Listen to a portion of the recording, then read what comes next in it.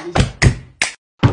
Seleccionan los mejores dies de cada camada, seleccionan los mejores chips para ensamblar estos módulos. Eh, por eso también es una edición limitada, porque no es fácil eh, seleccionar estos chips. Eh, no todos los chips aguantan la velocidad que estos módulos tienen. Por eso se fabricaron solo mil unidades en el mundo, del cual solo un puñado llegan a Colombia. Así que va a haber muy pocos afortunados que van a poder contar con este kit en sus equipos. El diseño es un diseño exclusivo también, edición limitada, inspirado en otra carrera la tecnología que incluye. Para empezar, estamos hablando de un kit eh, con una capacidad sumamente inusual. O sea, es un kit de 48 GB, dos módulos de 24. ¿Sí? ¿What? ¿Cómo de 24? Sí, estos chips son chips especiales con una densidad bastante novedosa que ya hemos lanzado en Fury Renegade, la regular, eh, que nos permite, son chips de una densidad de 24 GB, que quiere decir que cada chip, cada pastillita es de 3 GB. Entonces estos módulos tienen 8 chips de 3 GB, por eso su capacidad tan extraña de 24 GB de memoria. Además de eso, eh, estos chips corren a 8000 megatransfer por segundo. Esto no es solamente 8000, sino que es a una latencia, que es esa, esa sigla rara que dice ACL36. Es la latencia, o sea, la velocidad de respuesta, qué tan rápido responde la memoria, no solo cuántos datos